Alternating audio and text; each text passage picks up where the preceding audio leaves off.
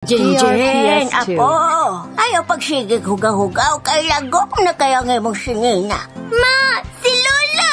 Ma, ayaw ka balaka. Maski unsa kahugaw o kadagan sa labhonon, sulbad na nga akong problema. Cathy Laundry Soap na ang akong gamit karon. Oy, ikaw po na inday. Nagkasi TRPS2. laundry soap na kakaron. Siyempre, asa man ko paulahima, grabe mo tangtang sa mansa og hugaw ang Cathy Laundry Soap. Oy, mura og kilat. Daku kayo og tabang nako, ma. Sinuot yung ka inday.